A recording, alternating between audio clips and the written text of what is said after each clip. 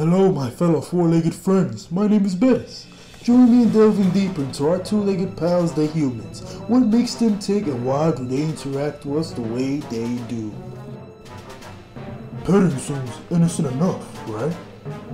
In human culture, it's called sunning, and it's to reaffirm their superiority over us. Look how adorable. Too bad humans are sick and perverted and take great joy in dressing us with their deviant amusement.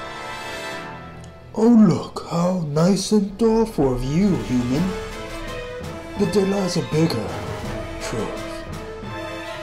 The humans have gotten so lazy they have trained us to eat our own poop. Yuck.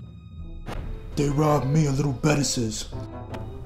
Look how endearing, giving us a name to relate to them.